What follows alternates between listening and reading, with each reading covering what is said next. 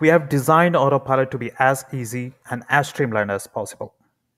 So once your campaigns have all synced up, head over to the campaigns page. Here, you should be able to see all the regions and the profiles that you have connected.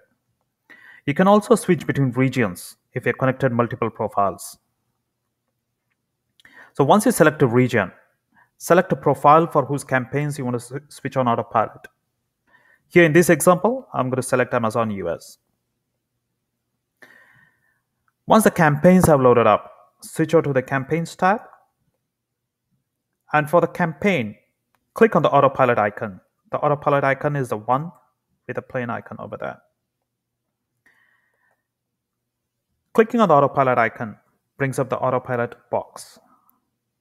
Here, all you have to do is switch it on and save it. There are some additional parameters. The most critical one is the ACoS target. Set it to what is a, whatever is your desired target. For this particular campaign, I've set it to 8%. The average is around 30%. Once you're satisfied with the ACoS target, just click on save. And that's all there is to set up an autopilot.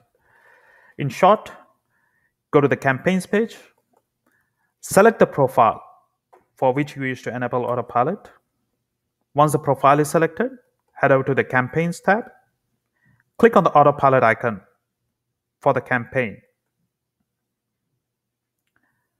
Set a specific ACoS target, switch it on and save.